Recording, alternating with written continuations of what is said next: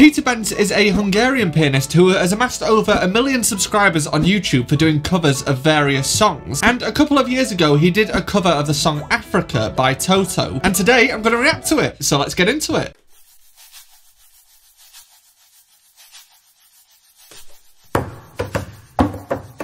He's using a loop pedal. I think he's using the Boss RC300, which I actually have that exact one somewhere. I'll have to try and find it and maybe use it for something.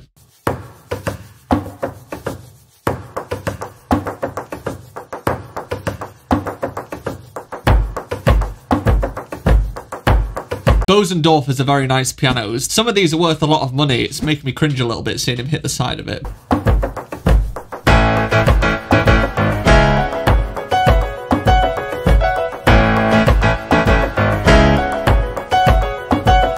That's super cool.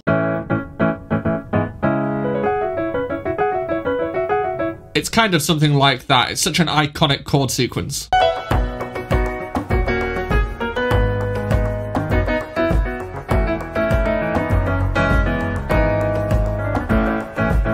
Oh, he's got some nice licks in there. Super cool.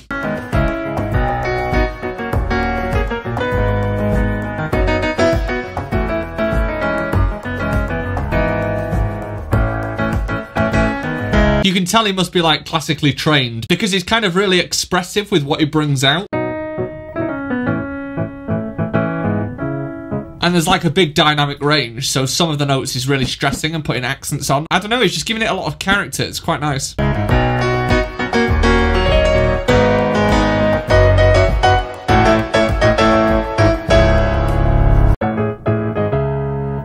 It would be nice if he did like a reharmonization of it so that it just had something kind of very slightly different to the original.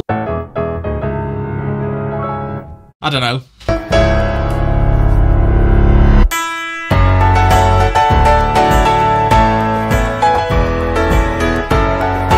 It was interesting, that piano note was obviously reversed, so I don't know whether that's done in post-production or whether he's doing it live. I don't know how he would do it live. And also, you get a lot of contemporary music that use a lot of string plucking. It definitely adds something when it's just kind of on its own like that.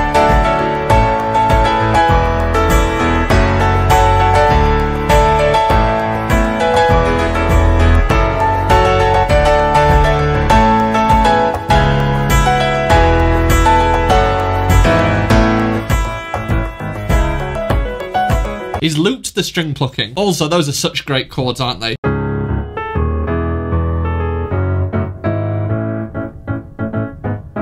Such a great song.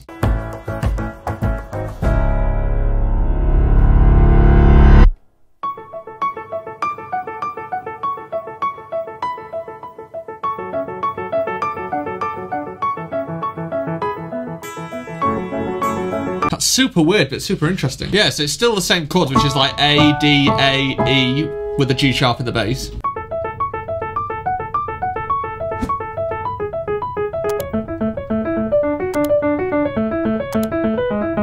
This is what I meant with the reharmonization, where I said it needed something like different. It draws you in because you know what it is, but you also don't know what it is.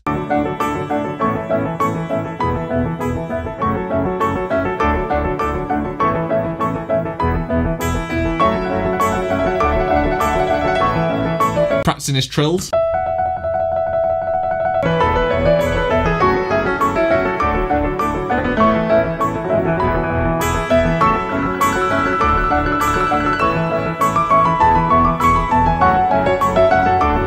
I can feel him wanting to go into the blues scale.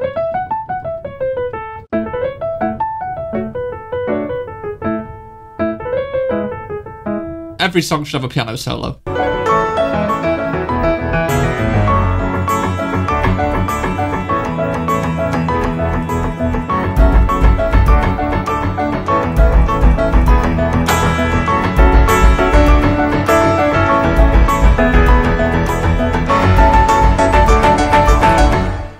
He must have put so much effort into making sure the mics were in the right place because it must be hard to get all these natural sounds of him hitting the piano or like dampening the strings and things and getting it to sound when it's played back to him and to us like it did when he originally played it. Because a lot of the time you can mic something up and you can make a noise and to your ears it sounds one way, but then once it's recorded and played back to you, it sounds another way.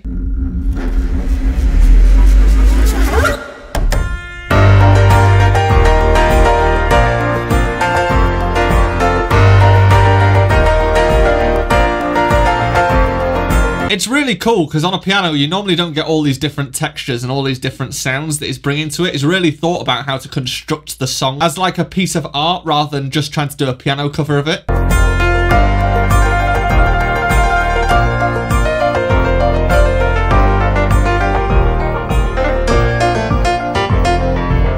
Really cool. It just shows piano is the best instrument and everyone should learn it. So go and do that. But before you do, if you want to see me react to another cool piano song, then check out this video of Ethan Bortnick and I will see you there.